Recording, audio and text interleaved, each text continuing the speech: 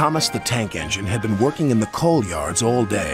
The little blue engine was covered in coal dust. We can't clean you up tonight, Thomas, said his driver. There's a problem with the hose pipe. Bother, said Thomas. A bath would make me feel much better. The others are sure to say I look silly. But the engines were too busy arguing to notice Thomas. James was talking loudest of all. I deserve a new coat of paint. Sir Topham Hatt says I'm the pride of the line, and rubbish, huffed Henry. We're all the pride of the line.